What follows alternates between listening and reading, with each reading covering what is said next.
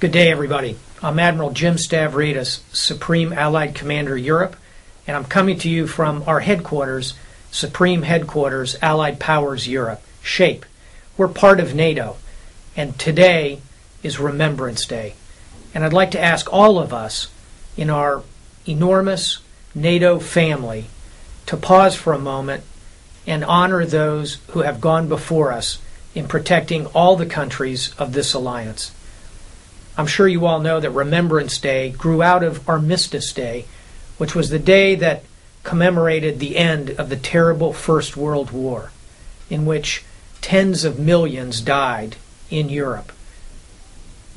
Armistice Day grew into this idea of Remembrance Day, that we could look back and honor the veterans not only of World War I, but of World War II, of all of the various conflicts that we have participated in. Our veterans are those who stand and protect us.